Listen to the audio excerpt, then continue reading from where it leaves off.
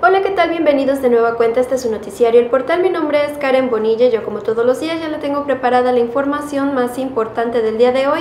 Y comenzamos con que el atraso en la reestructuración de la deuda pública podría generar graves consecuencias para Veracruz, pues se podrían aplicar penalizaciones de bancos y del sistema de administración tributario, lo que obligaría a retener más de 1.600 millones de pesos mensuales de los 2.123 millones de pesos de participaciones federales que deposita Hacienda Federal al Estado. Por segundo día consecutivo, militantes del partido Movimiento de Regeneración Nacional tomaron las oficinas que albergan el Comité Ejecutivo Estatal localizadas en la colonia José Cardel porque exigen la renuncia del líder estatal Manuel Huerta Ladrón de Guevara. El director del programa VIH de la Comisión Nacional de Derechos Humanos, Ricardo Hernández Forcada, informó que el estado de Veracruz ocupa el cuarto lugar en cuanto a las quejas por escasez de medicamentos, discriminación, violación de datos confidenciales y trato desfavorable a los pacientes con SIDA.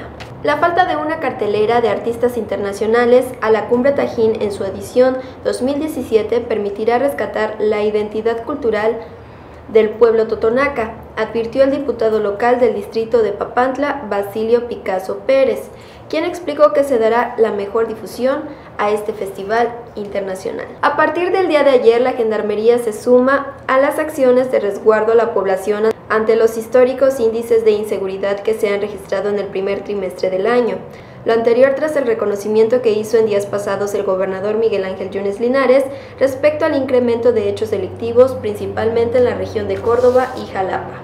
Al grito de no al muro, decenas de habitantes de la colonia Esfuerzo de los Hermanos del Trabajo protestaron contra la edificación de una barda de 3 metros de alto y varias más de largo en la obra del túnel sumergido, pues aseguran que les dejará prácticamente aislados del primer cuadro de la ciudad.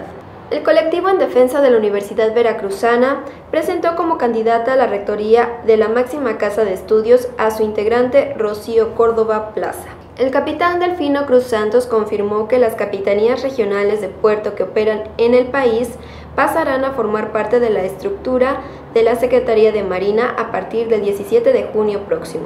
El presidente Enrique Peña Nieto destacó que la reforma energética ha permitido realizar dos subastas para comprometer inversiones por 6.600 millones de pesos para generar energía eléctrica más limpia.